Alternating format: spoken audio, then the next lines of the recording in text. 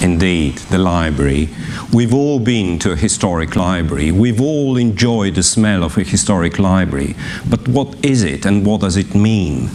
When we've recently, when at UCL Center for Sustainable Heritage, we've recently been asked to assess the environment at another historic library at St. Paul's Cathedral, the Wren Library, an incredible place. It, and it has such an intensive smell of old books.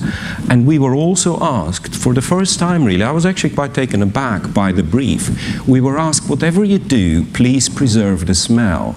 It's so important to our audience. It's so important how people perceive the, the, the, the library. So that, uh, that was quite an important message uh, in our research.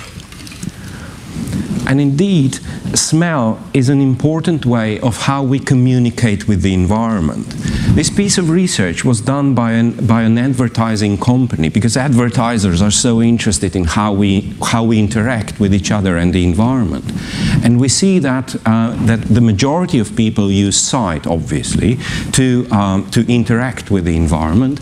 But on the second place, we see that smell is also very, very important it is also a very, very interesting, uh, interesting sense. I'll talk a bit about that later. Hearing is obviously very important, and all three of those are uh, uh, represent how we interact with heritage environments. We, we look at things, we, we smell things, we, we hear creaking doors and floors. Um, interestingly, taste is also up there somewhere.